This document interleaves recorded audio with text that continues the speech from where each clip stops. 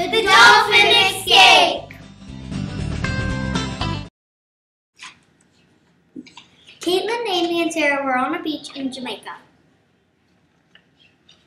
Hey, look at that dolphin. It's all tied up in the net. Go get some scissors, Sarah. Okay. So Sarah cut the rope. Then they had to roll the dolphin into the water. This is hard pushing the dolphin. I know, it's so heavy. Finally, it's in the water.